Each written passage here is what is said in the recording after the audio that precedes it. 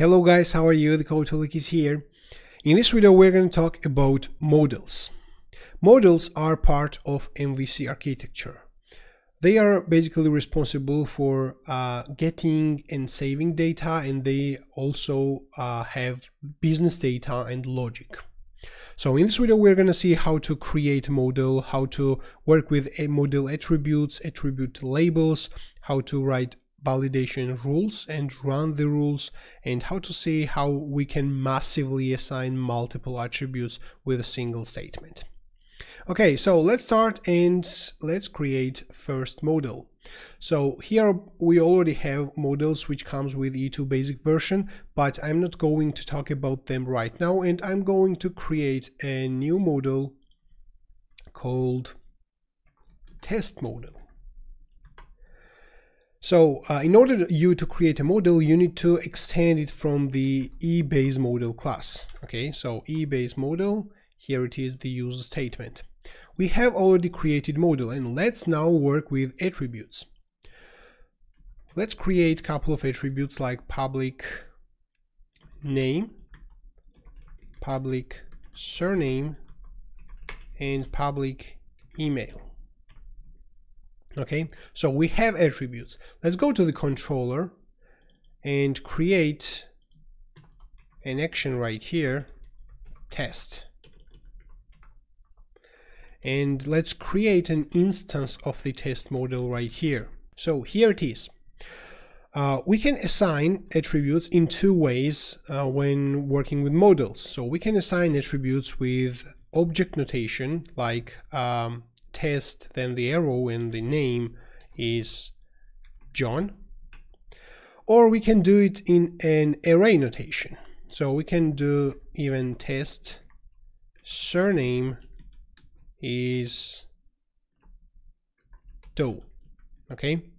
And let's just save this and see the result in the browser. Of course, we don't see anything because we don't output anything, but if we don't see a warning or error it should be good okay? We can we can output if you want like um, test surname okay? So let's go to the site slash test and here is Doe so we see that it works fine. If we want to see all attributes of the model we can simply call the method attributes on the model, which will return an associative array. Not associative, but normal array, name, surname, and email. In Yii framework, every attribute has its associated label, a display text, so whenever we're about to render the model as attributes in the form, we should use this label.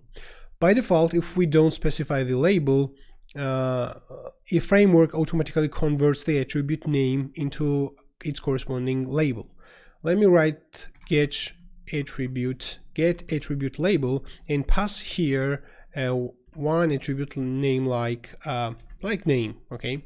So and let's look in the browser and here is its corresponding uh, label. So and the name is uh, in uppercase. If attribute name uh, contains multiple words like public my age let's put it camel case and let's go to the site controller and put here my age as an attribute name. Here it is the its corresponding label. So basically uh, first letter of every word is converted into uppercase and space is inserted between every words.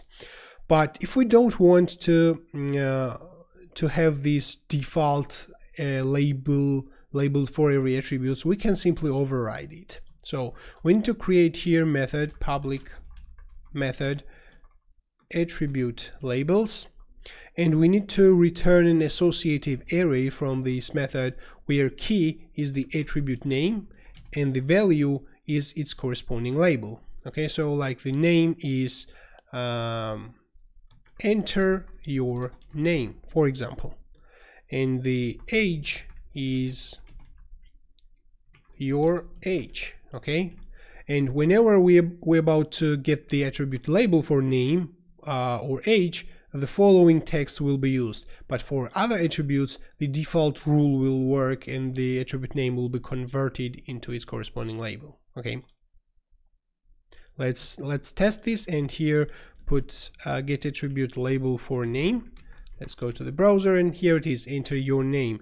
Let's put it for surname and the default rule works for it. Okay, so here I have created model and assigned four attributes to it. Now I want to iterate over my model. And basically this is also possible in uh, Yii framework because the mo the models basically are iterable objects. So here it is. So basically we iterate over the object and print all values like John, age, Doe, and so on. And we also printed their corresponding attribute labels. And we can also print the attribute itself to see the difference. Okay, here it is. So the attributes, their corresponding labels, and the values. Let's talk about the rules. Let's go to the test model and create rules. So rules are basically for validation data. And in order to create rules, we need to create public method rules and return an array from these rules. And each entry of this array is a rule associated to one or more attributes. Okay, so let's create rules. So like uh, name is required okay? So when we are when we are about to validate the model data so the name will be considered as required. Let's go to the site controller and run a validate method on the model and let's comment this name. So we don't want to the name to be supplied. So we want to see the validation problem. Like if the validation was run successfully let's just output OK. Otherwise output error. Okay let's see the page and here is error. Let's comment this. And here we see error. And if we want to see the validation errors basically what happened why it's an error. We can dump we can see the whole validation errors by dumping the model and the errors property. And here it is. The error and the validation error says basically name enter your name cannot be blank. So this enter your name basically is the attribute label. So it takes the attribute label and then it's some text cannot be blank uh, so multiple rules can be applied to the same attribute, like on the model. So it can be required and it can be also like a string with minimum 10 and maximum 20 or something like this. That's why here it's an array. And if multiple validation rules were applied to it and all of them failed, we will see multiple messages for the attribute. Okay. Now let's see how we can make multiple attributes required. So the rule pattern is the following that the it's an it's an array and the first entry of this array is the attribute label or labels uh, on which the rule is applied. The second element of this array is the rule identifier and then we can add some additional uh, properties of the rule like message for example.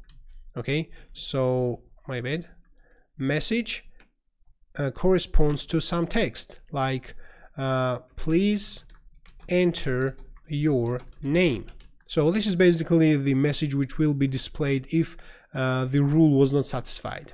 And let's see in the browser and here it is, please enter your name. Each rule has its own attributes and you can specify it right here, but I'm not going to spend more time on rules. Um, I plan a separate video for this. So by the way, if you like my videos, hit the subscribe and the bell button and just wait for more. Okay, and let's apply this required rule for multiple attributes like name and let's do it for surname also. So name and surname, let's open in the browser and it doesn't change simply because the surname is provided in the site controller. Here it is. So let's comment this surname also and refresh the page and we see the same validation rule on surname also. So if you if all uh, data was provided and the validation rules are satisfied, we will see just OK. And when the validation is okay, we can save the data, we can do some actions, or we can, if it's a contact form, we can just send an email. Really often the data which comes uh, from the user uh, using the post request maybe is it's an associative array okay? And we want to assign this data to a model. So that's why the uh, framework gives us possibility to uh, have a batch assignment to multiple attributes so we can let's say that this is the post data okay or we can we can do it like uh, like this so the test attributes is a global post just like this.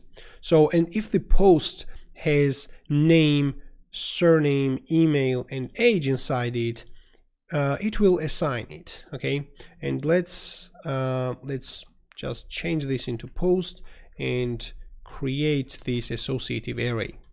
So here is my associative array and, and I'm assigning to the attributes and let's see the validation result in the browser it's okay, which means that the name and surname were provided according to the rules. Otherwise, it would just uh, would not pass the validation. That's it for now, guys. Thanks for watching. Thumbs up, subscribe, share, provide a comment, and see you in the next time.